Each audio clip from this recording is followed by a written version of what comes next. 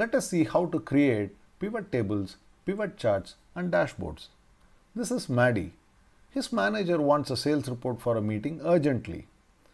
Manager wants to understand the performance of his salesman, the number of products sold and the income generated. He has given Maddie an Excel sheet of last 6 months data.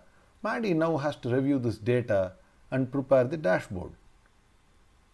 Maddie wants to do this well and become the employee of the month. What should Maddie do? He needs to know pivot tables. Pivot tables are very easy to create. There is no formula required, there is no coding required, and you can just create it using drag and drop. We will now see how Maddie analyzes the sales data and creates the pivot tables and pivot charts and finally builds the dashboard as requested by his manager. Before we start creating pivot tables, we have to ensure that there are no blank columns, no blank rows, no merged cells in the source data. Before we create pivot tables, it is very important that we familiarize ourselves with the data. Go through the data, try to understand the column headers and the information that is there in the sheet. This will help you create better pivot tables and dashboards. Now click on insert and then select the option pivot table. You can see that in the background the data has been selected already.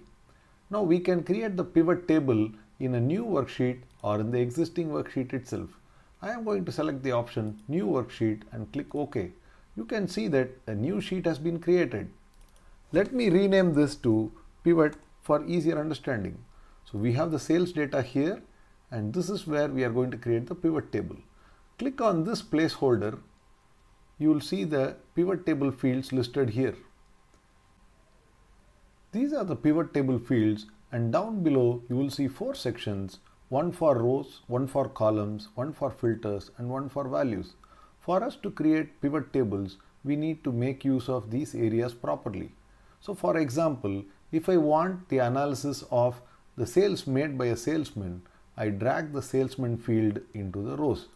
As soon as I do it, you can see that the uh, salesman data is there under the row labels. Similarly, I want to understand what is the income that has been generated by the salesman. I drag the total income to the values section. Immediately you will be able to see that this is the total income that the person has made. Now I can click on this field, right click and select sort and say smallest to largest and we can get it sorted as shown here.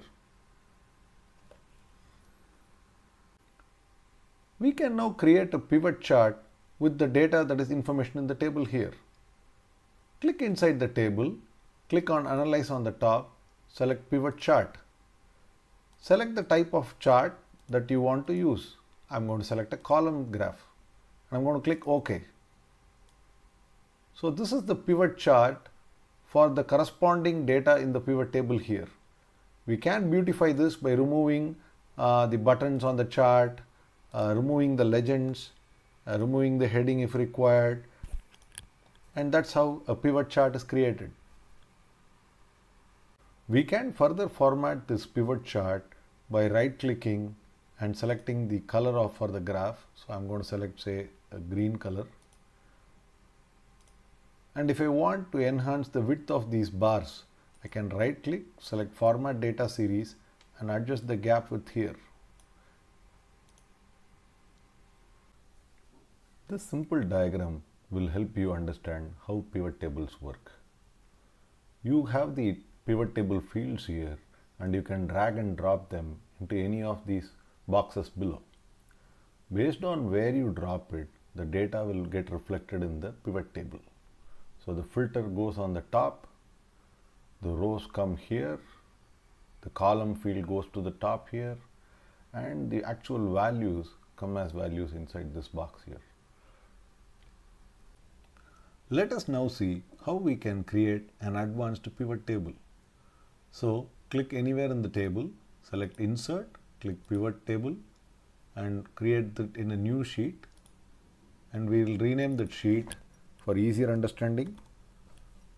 So this is where the pivot table will be created and this is where we have our sales data. Once I come here and if I click on the placeholder here, you can see all the pivot table fields. As we have seen earlier, I'm pulling the salesman to the rows. And what I'm going to do now differently is I'm going to drag the month to the filters. Once I do that, you can see that the month has come on the top of this particular table. Now I'm going to drag the product to the columns. So you can see the salesman, you can see the list of products here and I want to know how much has been sold. What is the quantity of product sold? So I'm going to select quantity and move it to values. As you can see, this particular table shows the salesmen and the products and the quantities that they have sold. In total, they have sold 960 products and this is over a period of 6 months. Say for example, I want to see the sales for the first 3 months. I select, I go to multiple items, I remove this all and I just select January, February, March and click OK. So they have sold 427 items in the month of January, February and March together. Now I click this all to get back to the sales done in the last six months. Similarly, I can select a salesman name to check what is the sales made by him separately. So if I filter out and select John, I can see the sales made by John here and if I want to reset it I just do a select all click OK I have the data here.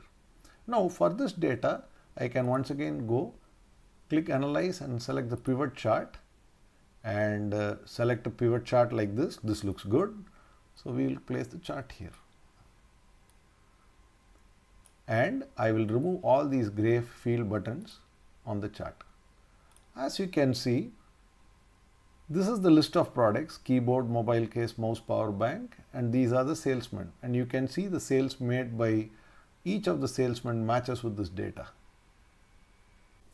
In our next video, we will learn more about summarizing data, report layouts, calculation types, source data and much more in pivot tables. Don't forget to give your feedback about this video in the comment section below. Subscribe to my channel and click on the bell icon to get instant notification of my new videos. Thanks for watching.